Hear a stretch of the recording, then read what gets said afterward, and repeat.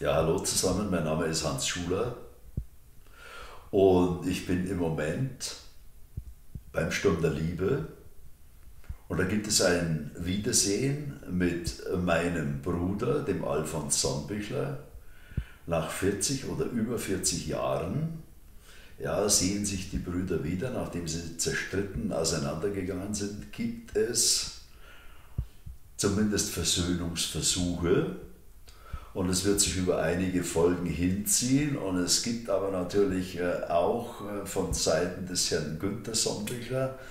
eine, äh, ein paar Hintergedanken, die zu verraten jetzt zu viel wäre.